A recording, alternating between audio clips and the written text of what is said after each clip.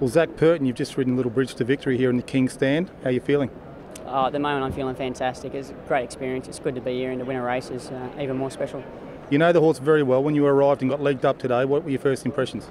He was a little bit more on the toe today than what he normally is. He was sweating up a little bit more, so my job was just trying, trying to get him to relax and switch off a little bit more. And that was hard going down past all that big crowd and that big grandstand. He, you know, he was a little bit worked up. It took me a long time to get him to settle down, but once he was near the gates and he was walking around, he started to chill a bit and started to relax. And you know, he was coming back underneath me good. And you know, from that point, I, I was confident I had the horse back underneath me.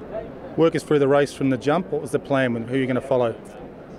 I didn't really have a plan. You know, Danny and I spoke about a few different things that might happen. In the end, he just said he'd leave it up to me, and I said I'd just ride the race on feel, and that's what I was going to do. I knew there was a couple of horses in the race that showed a bit of speed, and I was surprised I was the first out of the gates, and you know, leading them up early. It's the only place I didn't really expect to be. So he had his ears pricked. He was relaxed. I let him come back underneath me, gave him one to follow, and you know that just took me into the race, took me to the top of the rise, which is where I wanted something to take me to, and where I wanted to wait to, and then when I pressed the button, I knew what I'd have left, and you know the right horse turned up today, and I'm just happy for happy for the horse, happy for Hong Kong. What's going for your head at the furlong? Uh, just trying to get him to the line, you know. Um, he was having a look around, he was wandering a little bit. I was just trying to keep his mind on the job, um, just to get him over the line. So. And going past the post, the feeling for you? Uh, just a sense of relief, a sense of joy, happiness. You know, to win a race here is, is great.